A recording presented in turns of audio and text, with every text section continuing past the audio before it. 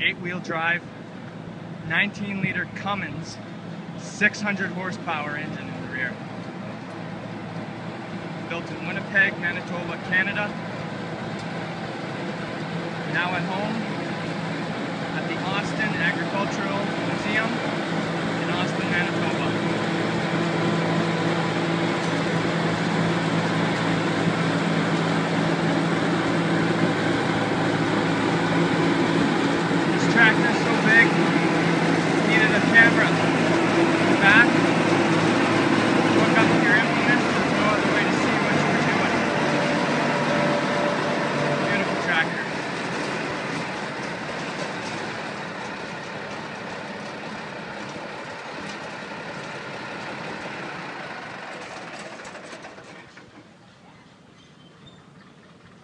The other one Mike's not easier, man. Got it.